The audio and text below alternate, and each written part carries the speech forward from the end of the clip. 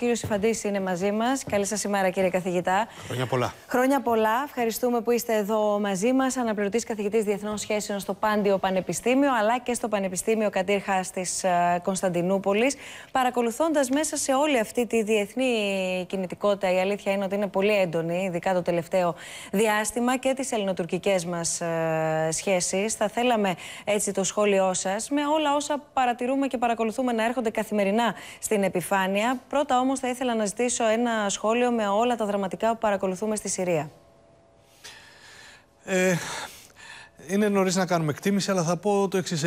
Πάνω που, που πιστεύαμε ότι σταθεροποιείται η κατάσταση μετά από τέτοια αιματοχυσία, εν πάση περιπτώσει προκύπτει κάποιος ή κάποιοι νικητές και κάποιοι ηττημένοι, ε, τα τελευταία γεγονότα δείχνουν ότι έχουμε ακόμα δρόμο μέχρι να δούμε το τέλος του, ε, του πολέμου.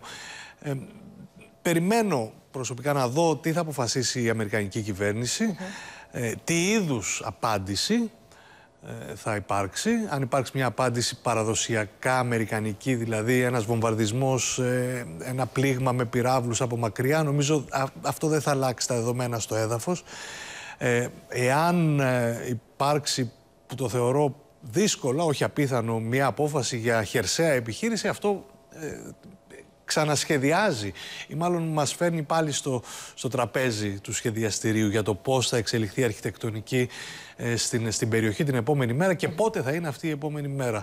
Γιατί σημαίνει ότι οι Ηνωμένες Πολιτείες θα έρθουν πια αντιμέτωπες με την Ρωσία, θα έρθουν αντιμέτωπες με τις Ιρανικές παραστρατιωτικές δυνάμεις. Ε, ένα, ένα περιβάλλον εξαιρετικά επικίνδυνο. Κυρίως βέβαια για αυτούς που παραμένουν στη Συρία, τους ε, αθώους. Ε, βέβαια. Και όλες αυτές τις εικόνες που παρακολουθούμε το, τις τελευταίες ώρες, αλλά και όλα τα τελευταία χρόνια. Εν αναμονή λοιπόν της στάσης των Ηνωμένων Πολιτειών ιδιαίτερης σημασίας. Βεβαίως, βεβαίως. Πώς παρακολουθείτε τη, τη γειτονική μας χώρα, την Τουρκία; Είδαμε ότι ακόμα και όλες αυτές τις ημέρες των εορτών οι δηλώσεις συνεχίστηκαν, οι υψηλοί τόνοι διατηρήθηκαν και συντηρούνται μέχρι και αυτή την ώρα. Η προκλητικότητα επίσης συνεχίζεται. Ναι, όπως έχουμε ξαναπεί, έχουμε μπει σε μια φάση αυξημένης έντασης ε, στις ελληνοτουρκικές σχέσεις. Ε, δεν βλέπω πώς μπορεί να αποκλιμακωθεί άμεσα η κατάσταση. Νομίζω θα παραμείνουμε σε τέτοιου είδους σε, σε τέτοια επίπεδα λεκτικής αντιπαράθεσης. Ελπίζω να παραμείνουμε μόνο σε αυτό το επίπεδο της λεκτικής αντιπαράθεσης. Ο κίνδυνος ε, της κλιμάκωσης είναι πάντοτε ε, υπαρκτός. Ε, μιλάμε για τις ελληνοτουρκικές σχέσεις, μιλάμε για το Αιγαίο, μιλάμε για ένα μικρό χώρο στον οποίο συγκεντρώνονται ή έχουν συγκεντρωθεί πάρα πολλές ε, στρατιωτικές δυνάμεις και αυτό καθιστά, επαναλαμβάνω, κάτι, ε, καθιστά την πιθανότητα ενός, ενός ατυχήματος ε, υψηλότερη ε, ε, από ποτέ. Υπάρχουν οι εσωτερικές προτεραιότητες του, του Προέδρου Ερντογάν.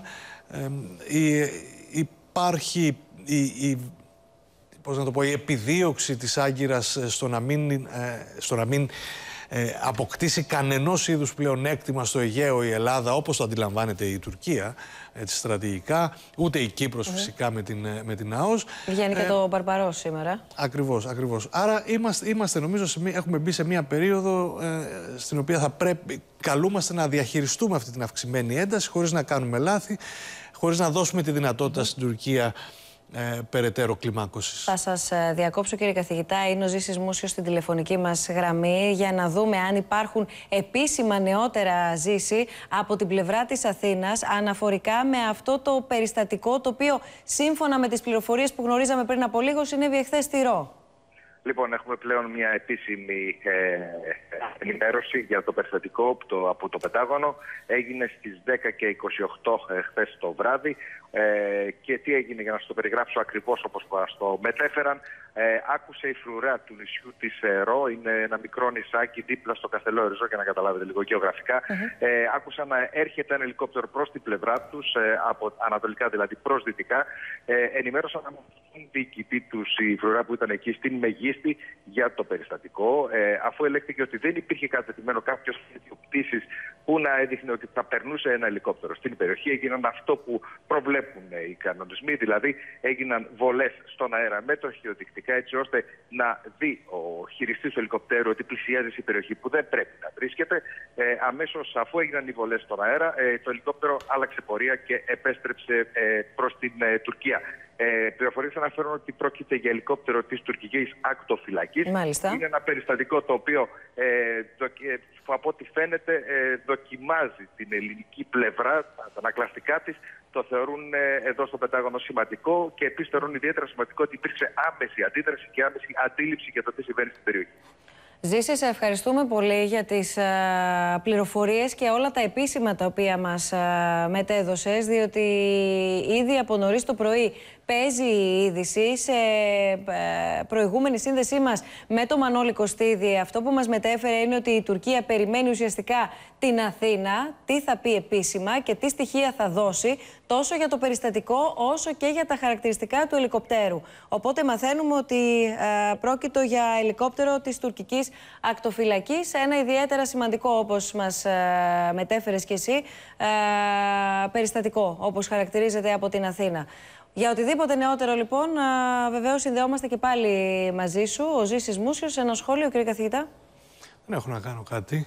Ε, εγώ δεν έχω υπόψη μου κάτι ανάλογο στο παρελθόν. Οπότε είναι αυτό που είπαμε και νωρίτερα. Αυξημένη ένταση, όχι ακόμα κρίση. Θέλει πολύ μεγάλη προσοχή, θέλει αποφασιστικότητα.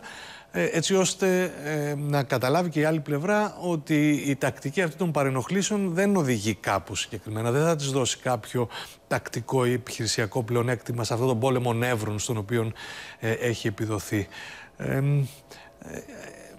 Πολύ φοβάμαι ότι θα έχουμε, θα έχουμε και συνέχεια. Θα έχουμε και συνέχεια τέτοιου είδους περιστατικών. Δηλαδή, μέχρι ένα κατόφλι, όχι παραπάνω, έτσι, θα, θα τεστάρετε, θα δοκιμάζετε συνέχεια η αντοχή ε, και η ψυχραιμία ε, της ελληνικής πλευράς. Σας ευχαριστώ πάρα πολύ, Εγώ κύριε καθηγητά, που ήσασταν σήμερα εδώ μαζί μας. Ο κύριος Ιφαντή, καθηγητής Διεθνών Σχέσεων στο Πάντιο Πανεπιστήμιο και στο Πανεπιστήμιο Καντήρχα τη Κωνσταντινούπολης. Περιμένουμε να δούμε εντωμεταξύ αν θα υπάρξουν και νεότερα από την πλευρά της ε, Τουρκίας, εφόσον η Αθήνα πήρε θέση και ακούσατε, ακούσαμε όλοι μαζί πριν από λίγο όλα τα νεότερα που μας μετέφερε ο συνάδελφος, κυρίες και κύριοι, ο Ζήσης Μούσιος. Σε αυτό το σημείο θα κάνουμε